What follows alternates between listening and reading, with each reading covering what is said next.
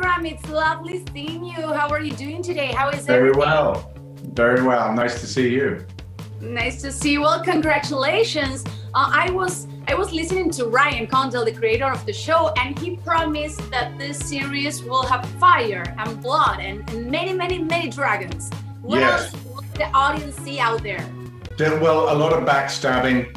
Yeah, a lot of backstabbing, a lot of manipulation, a lot of uh, people that you think are your friends turn out not to be, a lot of just um, changes of perspective. So you might, at one point, like my children did when we watched the first episode, think, oh, looks nice. Hmm? How was that reaction? What happened the first time that you actually saw the first Oh episode? well, my um, I mean, I'd seen some of it, obviously. I mean, I'd worked on it, so. But uh, their reaction was just wonderful. At the end of it, they just looked at me and went, "That was so cool." you, you can't get a better review than that.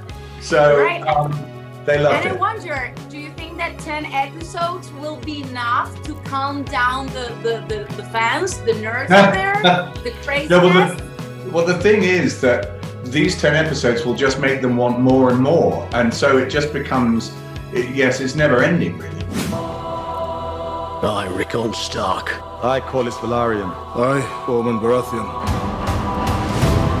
Promise to be faithful to King Viserys, and to his named heir. Princess Rhaenyra. Rhaenyra Targaryen.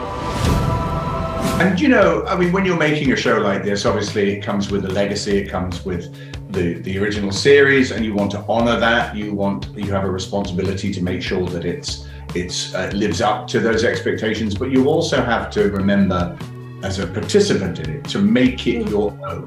Yeah, it's true. There were several uh, Game of Thrones spin-off that probably well didn't survive. What is it about this particular one that was chosen to continue with this great story? Well, I mean, I mean, obviously I'm biased, but I think landing on the the idea of that that particular family, that particular uh, group of people, the Targaryens, was brilliant.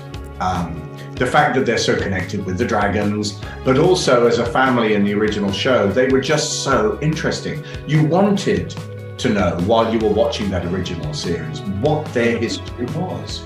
And this provides an answer to some of that.